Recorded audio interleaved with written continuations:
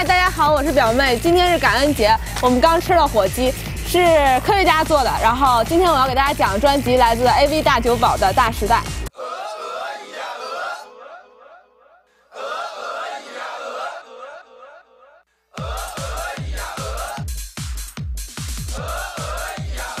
这张专辑发行于今年愚人节，这是一支来自武汉的乐队。醒目的名字来源于葛民辉执导的电影《初蝉恋后的二人世界》，是连 logo 都是直接从电影里扒过来的。他们的风格被叫做 Break Wave，又名破浪，这也是部电影的名。所以在他们之前应该根本不存在这种风格。他们不在乎被划分到哪类里，表达到位了，一切足矣。大时代听上去有种 B 级片的混搭风，城乡结合的新方向，犹如。Sex and City 加上《还珠格格》，棉袄外面套西装，New Wave 加发廊慢摇，里边的歌词分为表达生活和态度两类，多数听不太清楚。我的一张大字报和《破浪潮》两首歌特别果断犀利，《长恨歌》和《我要蓝精灵》生活气十足。AV Terminator 把目光转到 AV 上来，解释了这两个字的另外一个意思：Antivirus。一个反杀毒软件可以破坏杀毒软件，使系统处于裸奔状态。AV 大酒保说，对于我们所处的娱乐时代，他们并不会保持那种 punk 式的批判，反而更欣赏一种黑客态度，也就是并不反对整个系统，但会质疑其中的漏洞，然后用实力说话，以求改善它。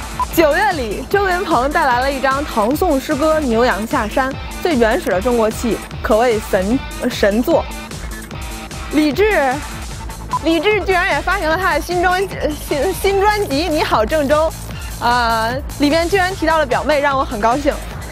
滨崎步发行了他的第五十张单曲《哎呦》，听着像回到二零零二年，她是不老的女神。十月份里，Taylor Swift、后海大鲨鱼和中岛美嘉都要推出新专辑了，让我们敬请期待吧。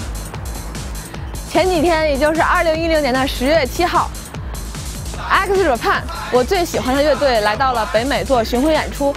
我去了多伦多的现场，呃，非常激动。他们实在是太帅了，都二十多年了，然后一点儿也没有老。呃，我想对他们说，我会一直喜欢他们的，我爱你们。然后我照了好多照片，如果你们想看的话，我会上传一两张到 BBS 上。敬请期待吧，这就是今天的三分热度，我是表妹，拜拜。